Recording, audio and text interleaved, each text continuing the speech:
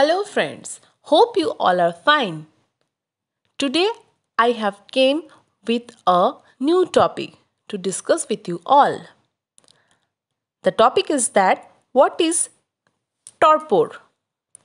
Torpor is a kind of deep sleep accompanied by drastically lowered body temperature, heart rate and breathing. Like a short-term hibernation, this state is common to a variety of burrowing animals, some birds and many animals that live in cold climates. Animal can go into a state of torpor usually for relatively short periods during the day or night to conserve energy.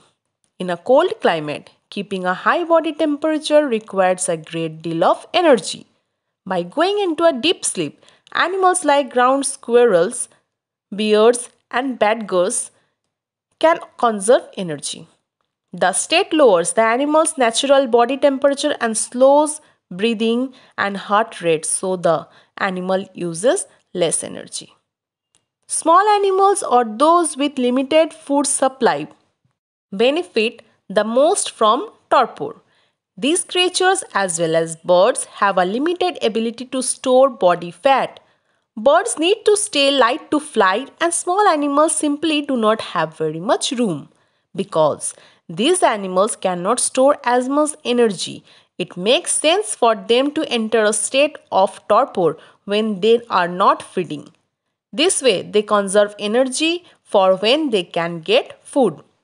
Animals who have limited windows of opportunity to feed also find torpor valuable.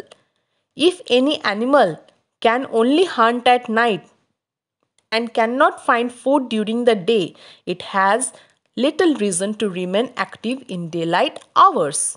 By going into a deep sleep during these times of inactivity, such animals save even more energy. Torpor has disadvantages as well as advantages.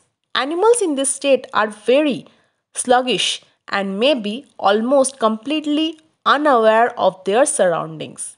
They cannot just wake up and become active instantly, but they take a while to bring their body temperature, heart rate, and breathing back to normal levels. If an animal is attacked while in torpor, it has very typical little ability to defend itself or get away.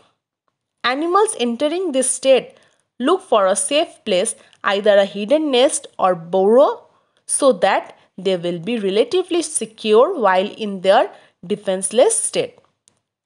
Hibernations and estivation, sleeping during the summer can be thought of as extended state of torpor.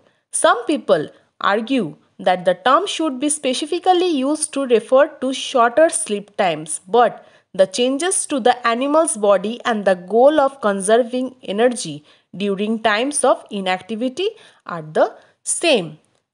So friends, hope you all have enjoyed the sessions.